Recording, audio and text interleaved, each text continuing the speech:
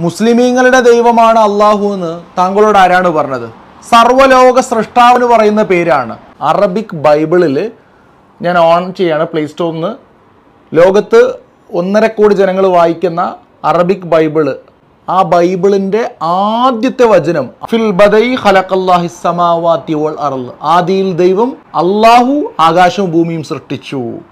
The Amar അല്ലാഹു വറ അല്ലാഹു വസം അല്ലാഹു അള്ളാഹു ഓരോ ആയത്തിലും അള്ളാഹു എന്നുണ്ട്. ഓക്കെ മുപ്പത്തി ഒന്ന് വചനങ്ങളിൽ മുപ്പത് വചനങ്ങളിലും അള്ളാഹുവിന്റെ പേര് കാണാൻ കഴിയും.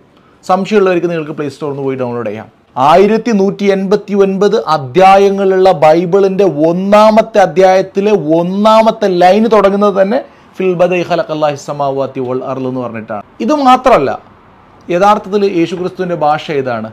അരാമിക് ഭാഷയാണ്. അരാമിക് ഭാഷയിൽ ദൈവത്തിന് എന്താണ് പറയുന്നത് നമുക്ക് ഡിക്ഷണറി എടുത്ത് നോക്കാം.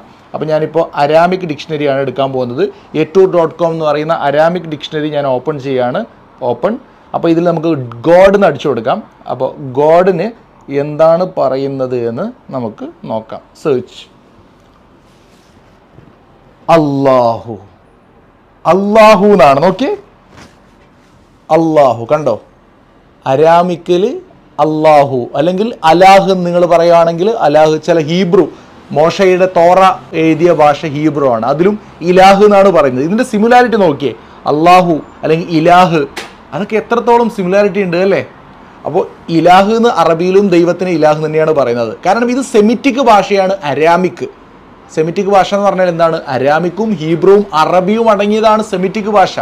അറബിയിലും ഇലാഹ് എന്നാണ് ദൈവത്തിന് പറയുന്നത്. അൽ ഇലാഹ് ദ ഗോഡ് യഥാർത്ഥ ദൈവത്തിന് പറയുന്ന അൽ ഇലാഹ് എന്നാണ്. അതാണ് അള്ളാഹു കാരണം ഇംഗ്ലീഷിൽ ഒരിക്കലും നമുക്ക് അള്ളാഹുവിനെ ഇംഗ്ലീഷ് വൽക്കരിക്കാൻ കഴിയില്ല. കാരണം ഗോഡ് എന്നുള്ള വാക്ക് അത് മനുഷ്യനും കല്ലും മുള്ളും എന്തിനു വേണമെങ്കിലും സ്റ്റാച്ചുവിനും പറയാം.